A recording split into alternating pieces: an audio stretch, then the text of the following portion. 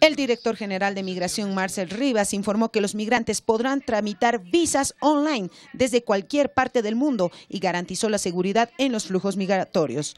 Los trámites para visas, para permanencias, para eh, ampliaciones de las permanencias uh, de todos nuestros turistas se van a realizar online. Ya no existirá la necesidad de hacer fila. Digemic Go es el encargado de la plataforma y que ésta evitará irregularidades en los papeleos y reducirá la corrupción en los trámites. Tenemos un doble filtro, un doble control, pero en tiempo mucho más eficiente. La mayor cantidad de visas, por ejemplo, del grupo 2, van a salir fácilmente entre 24 a 48 horas. Desde hoy, los ciudadanos extranjeros pueden tramitar sus visas desde la página www.migracion.gov.bo.